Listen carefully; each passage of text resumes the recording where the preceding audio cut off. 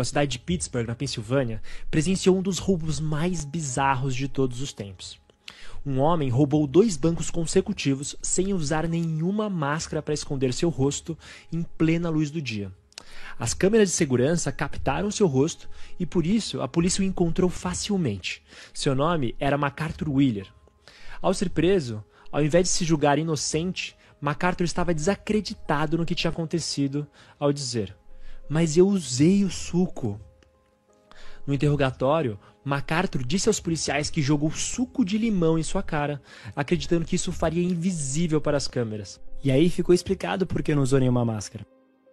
A polícia, também desacreditada, o testou para drogas e álcool, mas os resultados foram negativos. A conclusão foi que ele não era louco, mas apenas estava incrivelmente errado quanto às propriedades de invisibilidade do limão. Parece só um louco isolado, certo? Mas não é. Os psicólogos sociais Justin Kruger e David Dunning investigaram esse caso e, após estudos com diversos grupos, descobriram que todos nós dividimos o mesmo comportamento do MacArthur em várias outras áreas de conhecimento. Não só somos imprecisos em avaliar a extensão de nossos conhecimentos e habilidades, como frequentemente superestimamos o quanto sabemos. E agora eu vou mostrar isso. Em um estudo, 32% dos engenheiros de uma empresa e 42% dos engenheiros em outra empresa consideraram-se entre os 5% com o melhor desempenho de toda a equipe, algo matematicamente impossível. Em outro estudo, 88% dos motoristas americanos consideraram suas habilidades como acima da média, ou seja, melhores que 50% dos motoristas, algo também impossível. E isso é o que ficou chamado como efeito Dunning-Kruger. E o mais interessante é que, conforme esse gráfico que explica o fenômeno, pessoas com menor nível de habilidade e conhecimento têm os maiores níveis de confiança em sua autoavaliação, quase tão altas quanto reais experts especialistas no campo. E isso se repete em todo lugar e ninguém está salvo. Áreas como matemática, xadrez, gramática, segurança de armas, conhecimento médico e muitas outras. Isso, no exemplo famoso, pode ser claramente visto naquelas audições de programas do tipo The Voice, quando aqueles cantores muito desafinados, mas com excessiva confiança, ficam completamente devastados quando são reprovados pela expressão dos jurados.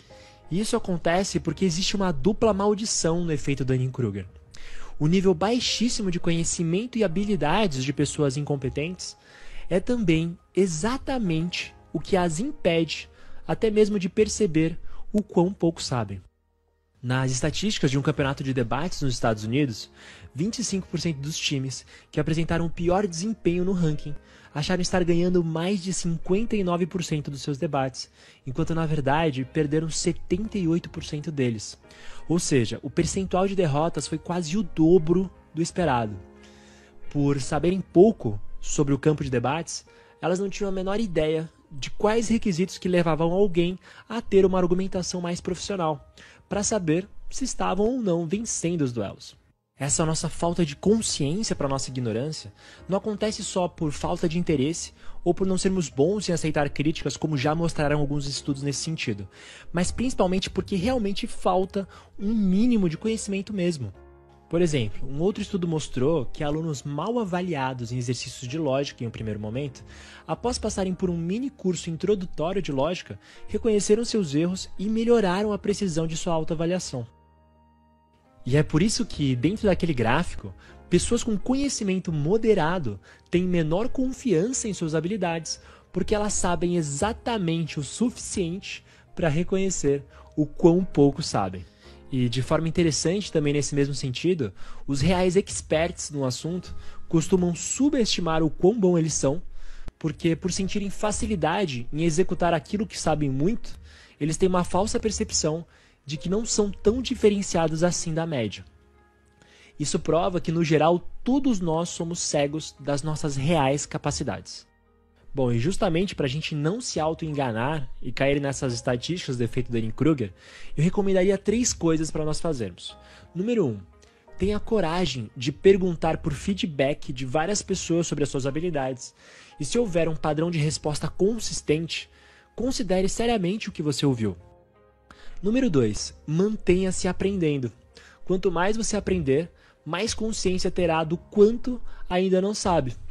E por último e mais importante, seja humilde. O mundo é complexo e vasto demais para sermos arrogantes. A humildade de verdade te traz abertura para você sempre continuar aprendendo. E já dizia Darwin: ignorância mais se parece com confiança do que com conhecimento. Bom, pessoal, e é isso.